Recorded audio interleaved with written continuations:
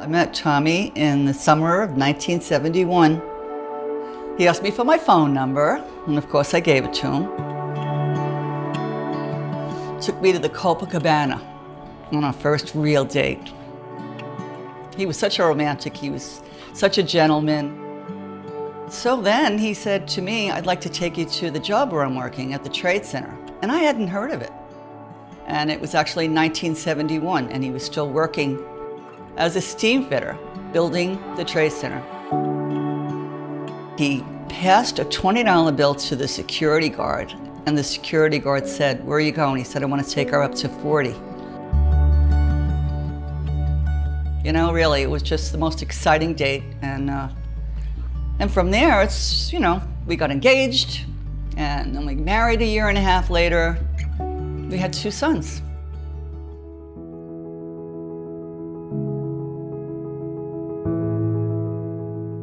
Brian was the life of the party, extremely jovial. You knew when he was there, that's for sure. I met Brian in 1987. I was a waitress in a bowling alley and he used to come in to watch the New York Ranger games. He was a tremendous New York Ranger fan. You're so pretty. I want you to go out with me. And I was like very taken back. I actually turned him down the first time. And he came back again. And I said, okay. And we were kind of inseparable from then. He became a firefighter a year after we got married. I watched Brian get sworn in. I watched him spend 26 years as a FDNY firefighter. He loved it. Brian was a cowboy. He loved hopping on that rig. He loved what he did, 100%. My husband Joe and I first met in 2006 in a mutual friends party. We talked and we discovered that we have so much in common. We both came to the United States when we were teenagers. Yeah, and our parents immigrated to the US for a better life for us.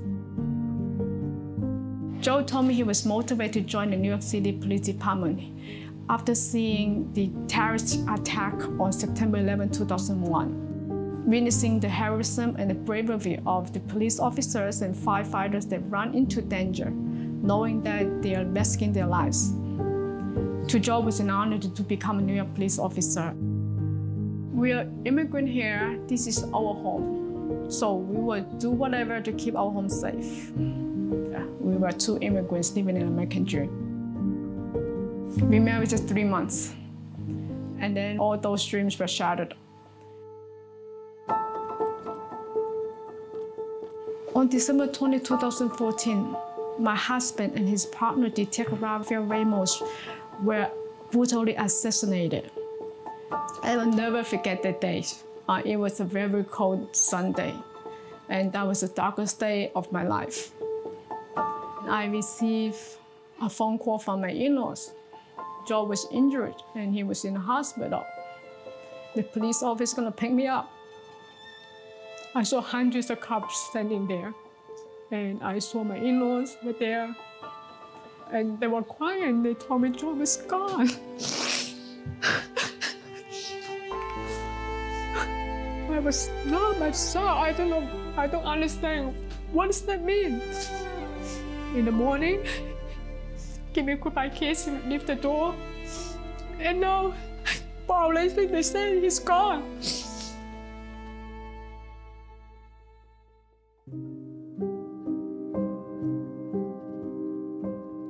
Brian had a, a was a really busy week at work, and uh, Brian came home, and he did not look well.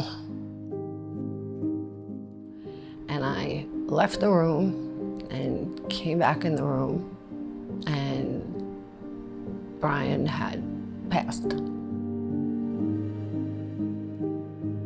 I had to perform CPR on Brian and I waited for the paramedics to come. My girls were home as well. It was chaos. Brian uh, suffered a massive heart attack from injuries that he sustained fighting the fire. They had a terrible kitchen fire and they contributed to that. It's like your whole universe changed in a matter of seconds.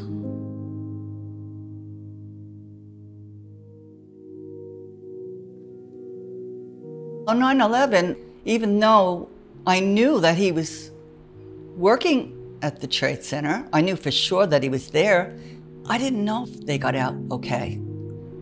I got the phone call from his captain at 12:30 in the morning, and he was so somber. He said, "But we're looking and we have hope."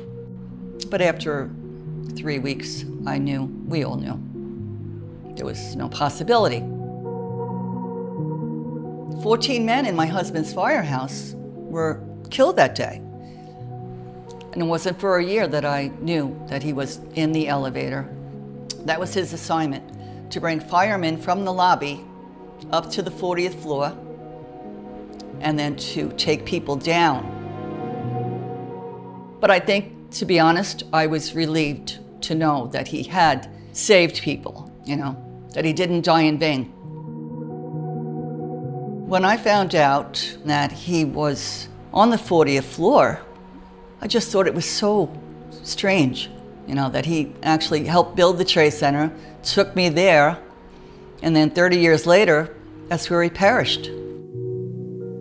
I always told my sons, you should be grateful that you had so many years with your dad. So many of the widows, their children were very, very young. I was 55 when my father passed away. And it's hard to watch your kids miss their father. Sometimes he asks me, where's daddy? Is daddy at work? This is the most difficult part. So I have to explain it to her that daddy is in heaven. Shortly after my husband's death, I feel like I don't know what to do. I have no idea what my life about. The Answer the Call Foundation, they said, we're always there for you.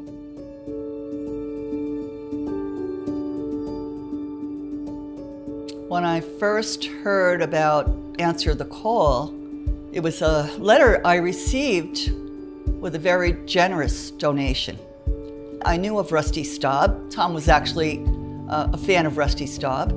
And I read the story about how the organization started, and I thought, what a nice thing to do. These people that you've never met in your life, and they show up at your door and, and they want to give you money. And I thought, how incredible that they want to do this for us, for Brian.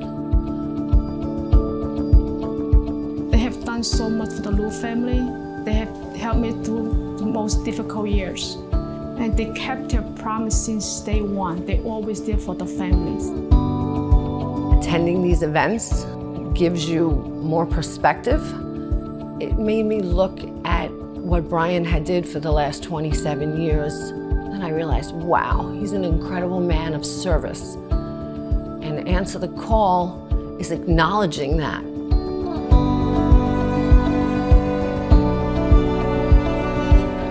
Take her to the 84 precinct all the time to see my husband's co-workers and friends. They are so happy to see her. I want her to grow up around the NYPD. I want her to know her father was a brave police officer. The truth is, I became very close with the other widows.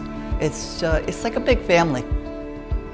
Brian made an amazing choice becoming an FDNY firefighter. I think he'd be really, really, really grateful that they're taking care of his family. It's a good feeling to know that, that they have you back.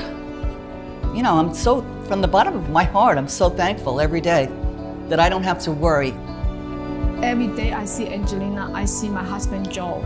Like I'm, I'm blessed from, from God to carry on my husband's name. Thank you for answering the call. Thank you for never forgetting. Thank you for your support.